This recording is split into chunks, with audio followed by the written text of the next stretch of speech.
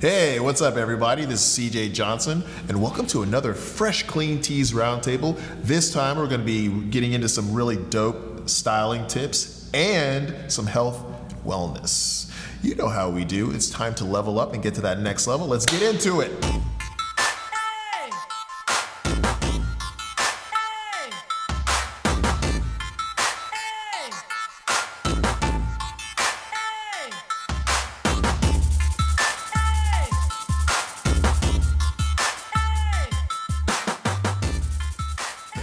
Joined by two amazing people. First, why don't you introduce yourself to the Fresh Clean Tees audience? My name is Danica Janae. I also go by Nica Lina. I'm a travel and lifestyle content creator based here in Los Angeles. All right, and who do we have here? My name is Brent Totty. I am a technology entrepreneur and I focus on helping creators build sustainable businesses uh, through engagement. Oh, wow. Okay. Wow. And everybody, it's me, CJ Johnson. uh, obviously joined by two amazing people. So um, I'm, I'm glad that you brought up sustainable technology. Mm-hmm. Um, one of the cool things that Fresh Clean Tees is doing right now is, is a new initiative to make sure that the clothing is sustainable. Mm. How important is it for you when you're wearing different clothes and like different products that you're using that it's sustainable? Is that something that you're conscious of? Yes. It is? Yeah, and I'll say that it wasn't very important to me originally, and, Okay. and ultimately, I, where my first exposure came was starting to do some thrifting. Okay. Where I started to realize that there was a little bit less of a carbon footprint if you're going out and buying things that were previously purchased before. Um, that was really the first exposure that I had to that kind of idea, and then now I'm starting to look more into like what truly is the footprint of Yeah. the types of clothing that I'm making because I was cheap before. I was like Okay. fast fashion, anything that was like five, six bucks, I'm hitting H and M, and it was- Right. that was good enough for me. Wear it a few times, throw it away. So, so when you think of so when you think of sustainable fashion now, do you think uh, is it? Do you feel like it's a heftier pre- price tag, or is that like cheaper, or is it, like cost effective? Like, does I mean, like, what is? How does that play a role in the in your decision making when you're like shopping for fashion? I guess. For me, I'm all about quality over quantity, so Okay. I don't really care about the price. I'm looking at how long I'm going to have it for, for a few years. Um, yeah. Do you, and and what and how do you feel about like unisex products? So something love like them. okay, you love them Yeah. because like you're you're this is like a unisex shirt that you're wearing, and you seem like you styled yourself pretty well, and then obviously this. So like, what about you? Do you unisex, men's, women? Do you care? I mean, I would say I primarily like if it's unisex clothing, it's going to fit both ways. Okay. Um, so I would. It's about the fit. Yeah, it's, it's all about the fit for Okay. me. Um, especially with t-shirts. Like t-shirts have to they have to be comfortable. They can't be too tight. They have to have a nice breathable material, and it's got to be something that's not going to you know unravel after two or three washes. Right. That's something that's really important to me. Right, right. And I mean, you and I both talked about this at length too. We're gonna We talk a lot about our, our shirts and the way it fits on our bodies. But, like, the we long guys talk about that as well. I'm The, just the letting you know. long sleeve is really important. It's like Right. it can't be loose after like one pull up. If you pull a long sleeve up and it's not actually gonna, gonna come back down, it's gonna be all loose. Yes. Not gonna happen for me. That's that's a deal breaker. I, so I mean, I, that's like a, that brings up a really good question. It's like when when uh,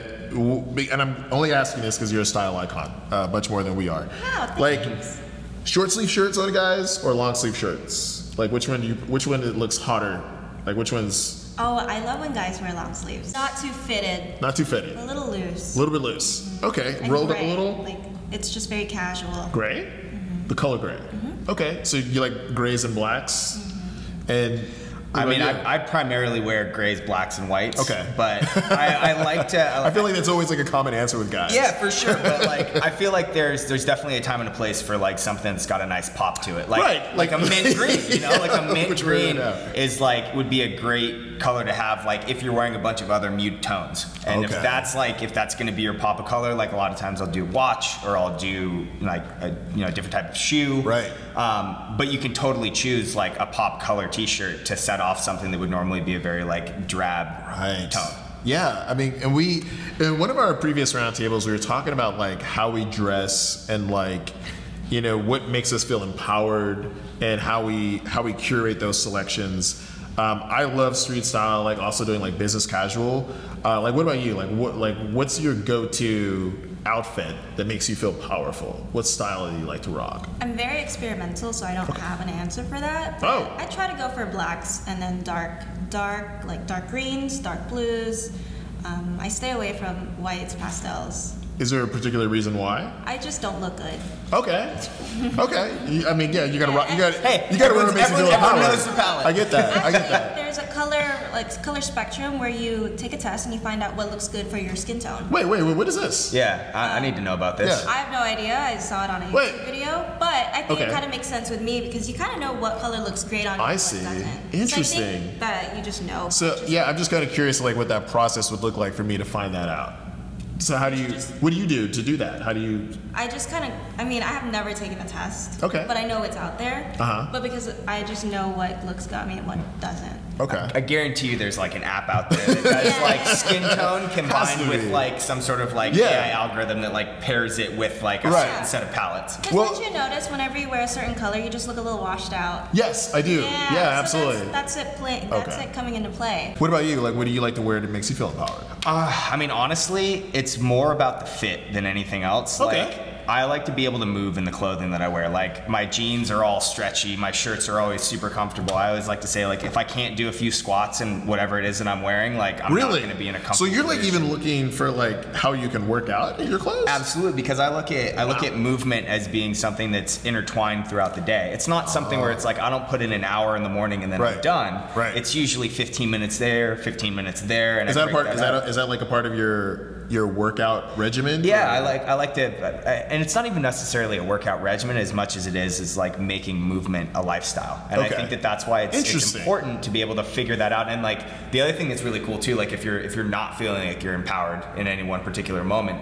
The first thing you can do is actually start moving around a little bit, Right. get some blood flowing. If you're Right. nervous, like start doing some jumping jacks, like something along that those lines. Ultimately, is going to help you feel a little bit more in control. Right. Uh, I forgot who said this, but it's like uh, motion equals emotion. Mm-hmm. Um, I, I- same. I do that too. Like I, if I'm feeling kind of funky, I'll do uh, jumping jacks, push-ups. Mm-hmm. But I just think that's very interesting about what you said about like wardrobe because like sometimes you know a brother's wearing some uh, some skinny jeans and Yeah. uh, I just can't. But they're all stretchy.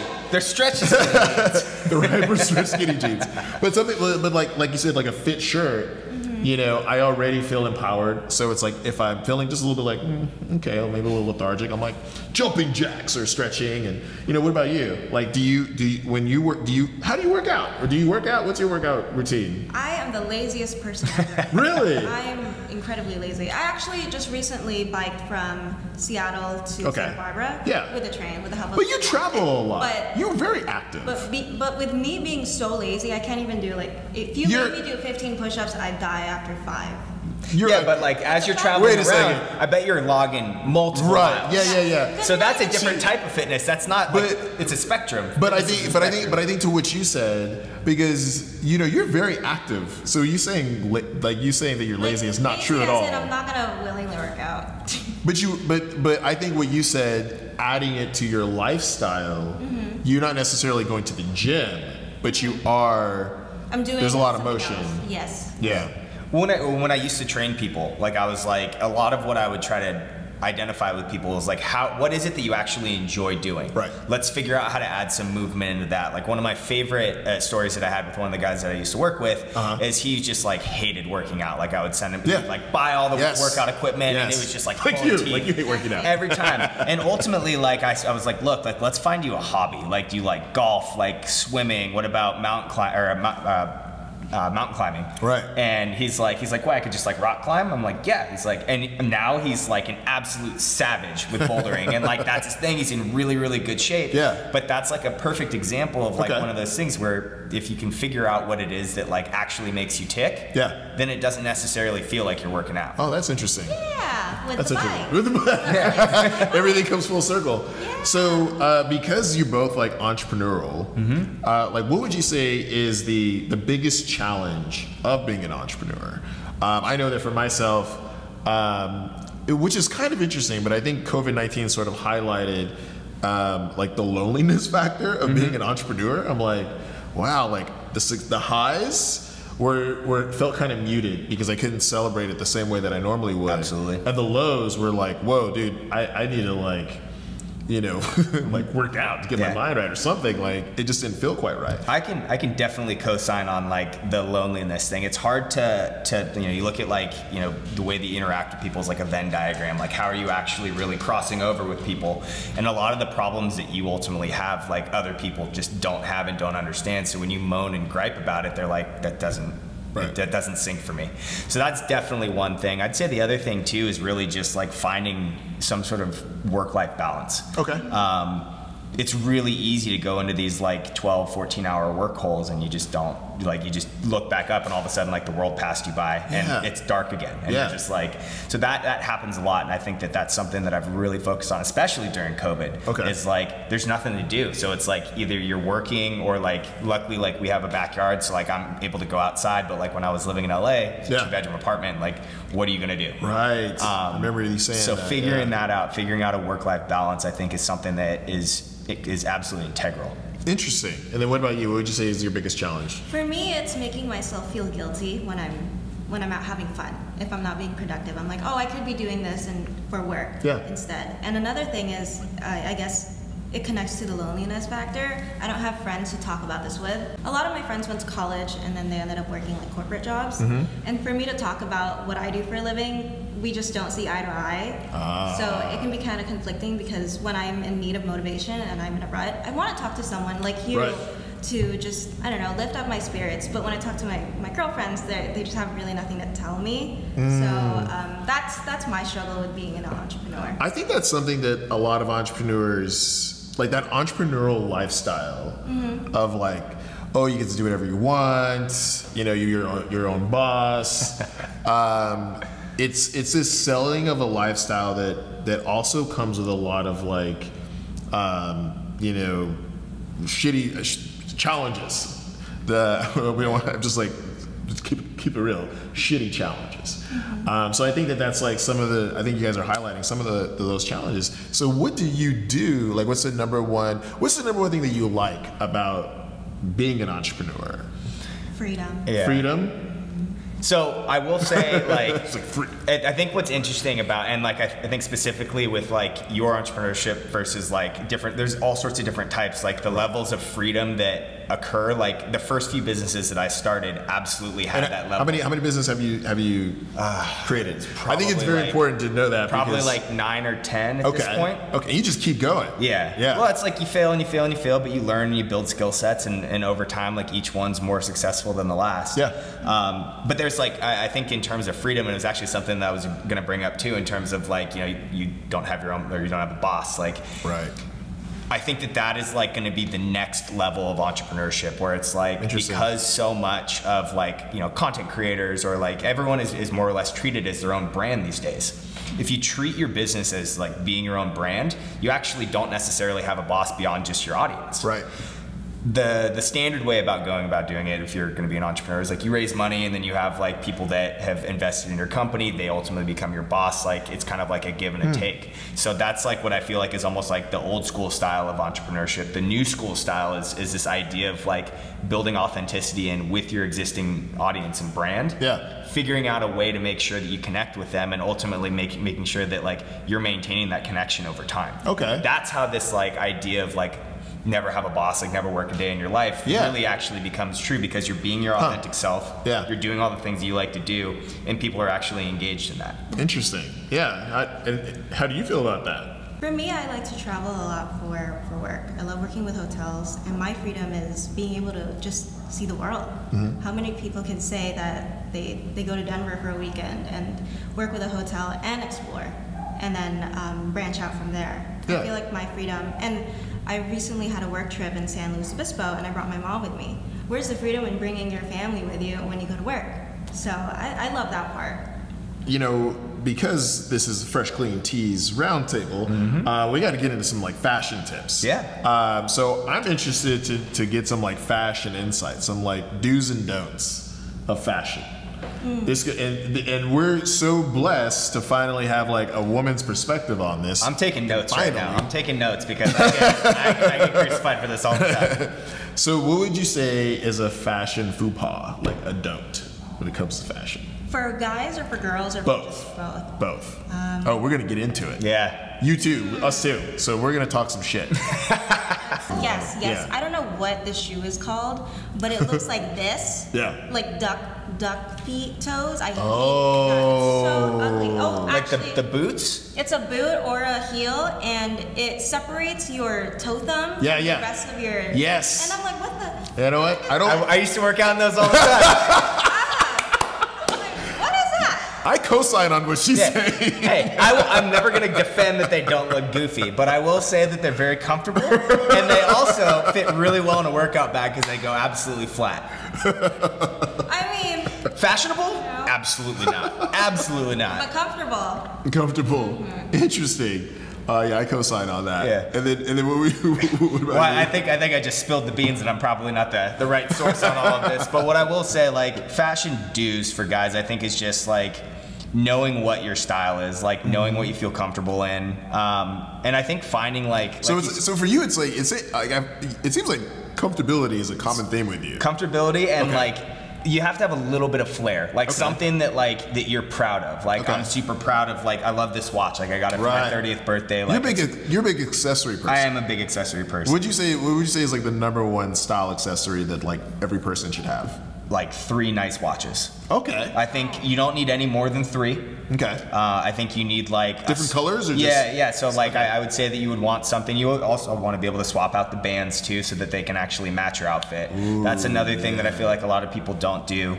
Um, but yeah, finding like a nice like dress watch, like having something nice that's got like a little leather band on it too. Yeah, yeah. Different color faces, and then I'd say like a kind of more like a tactical military watch of sorts. Okay. Um, that's a little bit more rugged that you could take out if you're out like Yeah. traveling around. Wow. What's a great girl's watch? You think so? Like the tactical watch? No, what's a great girl's watch? Oh. Because I don't, I don't. You don't know have. I mean, I, I would think that you'd be able to answer that for us. I No. don't wear watches at all. Do you do you like accessories? I like accessories, but What- very minimal. Very minimal.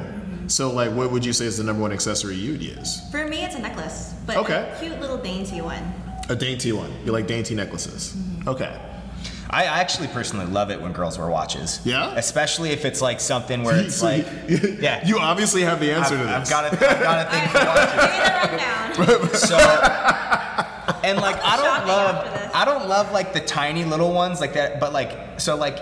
Kind of like the unisex style, I think works really Okay, well. I don't okay. think that you need to go like this super tiny style of watch. I think that like something that like matches and is like unique. I think that Mm-hmm. that's like, especially if you're gonna spend you know a good chunk of change on a, on a watch, like Yeah. you got to find something that matches your personality. There's got to be like something unique about it. Okay. Um, and I also think that like the reason why watches are a really interesting way to like complement like a really like nice fitting T-shirt too is like you can make it your own. The same way that Right. like you can find a T-shirt that like fits you. Same thing with an accessory. It's like it's kind of your piece. It's like you add your little your tweak on it and it becomes yours. And and we, and, we, and I'm very I'm just kind of curious uh, because obviously like accessories, but also like you know we kind of touched on um, you know how you incorporate working out into your active lifestyle. Um, like what do you do mentally to like keep yourself in check? Um, I guess like to, to feel empowered. Like what what do you do to make you feel very confident? Um, uh, like what's the number one thing that you do and the and that that number one tip that you would give to someone else as well I love to talk to myself in the mirror. Okay. It's just so fun. like full-on conversations Yeah, okay like I'll, I'll talk to myself in my head and then say it out loud, like replying to myself. okay And last night, I my aunt was visiting, and I'm just talking to myself and looking at myself, and she's walking past my room, and I said, "I bet the fuck you do," at myself, and she's like. But I like to give myself pep talks. Okay. Because I, I've been in a rut these last few weeks, and just talking to myself, it was hyping me up. I Right. love to be my own hype man, so Okay. that empowers me. For me, it's all about schedule. I, from it's like if I can own my own schedule, I know exactly when I'm supposed to be doing certain things. So like that's it's, it starts with when you go to bed, your nighttime routine, the things you can do to make sure that you're maximizing sleep. I wake up pretty early in the morning, usually like 5:30 or 6. I have my like set things. I like make sure that I step outside the first 15 minutes of the day. Okay. So like my feet hit the floor, I drink a bottle of water, and I just get outside. Interesting. Whatever happens after that's like Yeah. fine, but it's like as long as I follow that general cadence, that works for me. The other thing that I would recommend doing for people too is, especially if you find like you're in a creative rut or you're getting distracted, is finding ways to block off all the distraction that you have and set a specific like I have a timer that I have on my phone or I'll do it on my watch. And I know exactly how long I'm working on one task. Okay. No notifications, Interesting. nothing. Okay. So this idea of like no nonsense time blocking with a specific focus is something that makes me feel like I'm in control of my day. Because it doesn't have to be all day, but if I get a few of those in a row, a few 20 minute blocks here or there, Uh-huh. Yeah. then I'm on a roll. Yeah, absolutely. Yeah, same. I mean, I think we and we've discussed this before so. about time choking and how we really like doing that. Um, that's so interesting. I, I feel like for, for me, it's I do I do both. So I do speaking to myself in the mirror, and I also do time chunking. And um, I found that like when I'm reading books, um, that always makes me feel extremely confident and happy. Like Yes. it doesn't matter what type. So like, what, what, what do you guys read a lot? I do. Yeah. Yeah. My goal this year is to read one book a month. Okay. So I read Good goal. Matthew McConaughey's The Green Light. Okay. And then I read an, a book about manifesting. And then right now I'm reading a few books. Really? Yes. So one of my favorite tips, and this is actually something that like whenever anyone comes to me and asks me like, you know, what's something that you can like do to help me start reading more regularly? Yeah. Um, I always try to tell them to to not necessarily worry so much about how many pages you're going to read or how long you're supposed to be reading, but you really should be reading until you come across something profound. That's like the way that I tend to read. Is that like in the morning I'll crack open. When I say crack open, I turn my Kindle on. But I turn my Kindle on and Yeah. I read up until a point where there's something that really is going to make an impact, and that's like how I, I kick off my day. Where it's like a certain passage, maybe a line, maybe a certain thought is going to be relevant to whatever it is that I'm working on that day. And at that point, I come back and return to it from time to time throughout the day to see, am I actually like living this particular passage? Is this actually relevant to what I'm doing? Interesting. Uh, I mean, how many how many books do you read at once? Like three or four, Okay. usually, and and that's Same like same with you, right? Yeah. it's like Well, no. fiction and nonfiction, some business Okay. books. Like I'm kind of all over the place, and that's like that's why I can jump around. Mm. Um, where yeah, I could be re and like I also often don't finish books too. Yeah. Like I'll just it won't be serving me anymore, and I'm like I don't need to waste any more time on this. I'm good. Yeah. Um, so like I'll jump around from chapter to chapter, and if it's not doing it for me, like that's it. Interesting. And then you you travel a lot. So do you? How do you style yourself? Because I know that you're very fashion conscious and you're very intentional about what you wear. So like, how do you pick a wardrobe when you're traveling a lot? I think that's like one of the.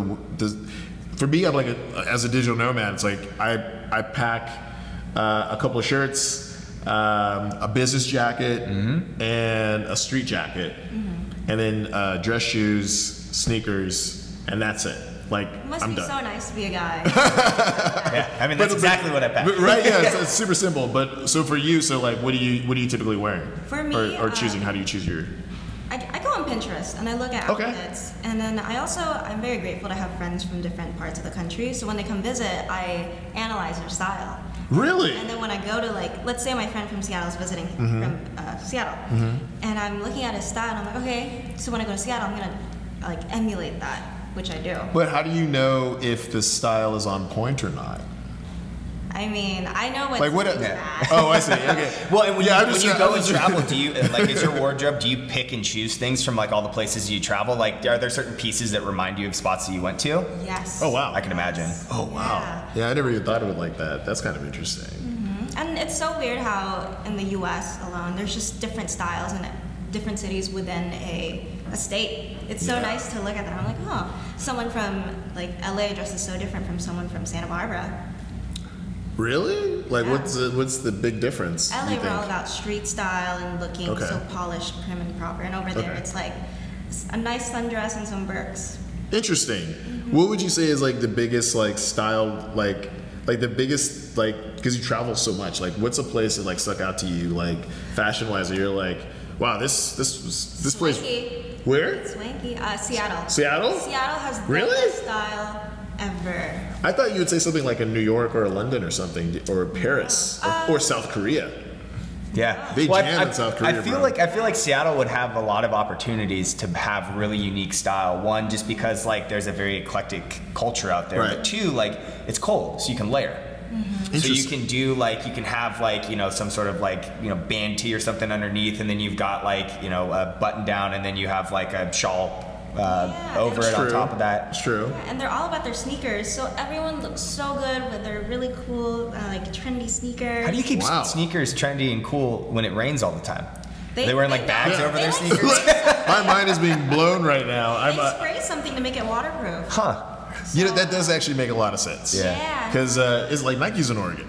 That's Yes. true. Yeah. So uh, it would They- they had that- to figure this Yeah, out. Yeah, they- somebody in the Northwest, they're like, we know how we know how to take care of our sneakers. Mm-hmm. So what what do you feel like goes well with like a, a shirt, like uh, like as far as um, uh, bottoms are concerned, jeans, pants. I'm pretty much always. It's very rare. Like if I'm wearing shorts, it means I'm going to the beach, okay. um, or I'm working out. Um, You're but- just intentional with everything that you do. Yeah. Okay. But like with with like a fresh like clean tee, like I would absolutely go with like a nice pair of like fitted like tapered jeans, maybe some like nice Chelsea boots. Okay. Um, and then if it's like a little bit more casual, then it's like probably some like some like well fitted khakis and like some Vans. Interesting. That's pretty much all you'll ever catch me in. Okay. Yeah, I've I've been a lot a lot of times when I'm like wearing something like this, I don't even wear jeans that, that much Mm-hmm. anymore. It's like fitted pants. Um, yeah, that's it actually. No, and sweats. I'm just glad that joggers are like Yeah, cool now. that's what I like mean, jogger, yeah. like you can wear like stretchy joggers again, going back to the comfort Yeah. thing, and get away with it, and it's like it can be intentional, and you're not just wearing the same thing that you got out of bed in. All right. well, any last any like I would say what's your last bit of advice that you'd like to give before we close things down? Number one tip you would give to somebody. I would start. I would say lead with passion. Um, you have to find what makes you tick. You have to find what ultimately, like when you wake up in the morning, what's the first thing that you think about? If that's not driving you to make the next step and the next step after that, the likelihood that you're going to be happy in you know a few years is pretty low. So if you can find whatever that is, and like I always I always try to tell people too, I'm like you don't have to be right. You can just be pursuing a passion. If it doesn't work out, that's fine. You're still Yeah. making strides. Absolutely. So pursue passion. Make sure that that's at the core of whatever it is that you're doing, and just be happy. Absolutely. Yeah, that's that's fantastic. What about you? For me, I, I look up to Ben Baller a lot, and Okay. something that he says that has always stuck in my head was, "This is not your practice life. Mm. So make every day just super meaningful. Do something that'll get you closer to your goal, or just do something that you're super passionate about." So for me, it's like every day has to mean something. Interesting. Um, I think for me, guys, um, not ending days with failure. Um, I always want to make sure I get a win before I, I go to sleep, before I rest my head. How do you do that? Yeah. How do I do that? Um, it, anything, if it's personal, big, small, I just say to myself, you know, wh- what did you do today that got you closer to that level of success and happiness that you're that you're aiming for? Like, did you accomplish a goal? Did you accomplish it? Did you did you accomplish a challenge? And I want to make sure that when I go to bed, something has been accomplished. Something is is even if it's an incremental step, is moving forward in the right way. You got to celebrate the little wins. Absolutely. All right, everybody. Thank you so much for tuning in. Another amazing episode of Fresh Clean Tees, The Roundtable. Fresh Clean Tees, sustainable clothing. Make sure to visit www.freshcleantees.com. I'd like to thank my guests so much for joining me. You guys are amazing. It's our pleasure. Love you guys. And as always, everybody, make sure to stay empowered. Keep your head up. Keep leveling up. You know, we're all out here trying to do the same thing, and I will talk to you soon.